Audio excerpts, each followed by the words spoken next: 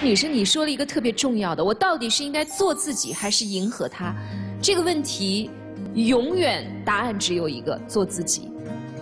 其实你心里应该很清楚，你只是没有办法在这个时间点痛下决心而已。我相信你周围的朋友肯定也跟你说过，一定要做自己。你只有做了自己，你才有机会去赢得他和未来。否则的话，我觉得一切都是空中阁楼。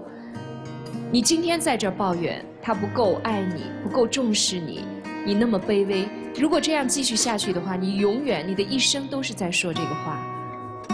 所以我想，可能这不仅仅是你和他的问题，是所有人在爱情当中都要面临的一个问题。我们究竟是拿出自己最本真的面目来面对爱情、面对生活，还是说我为了他来改变自己？嗯。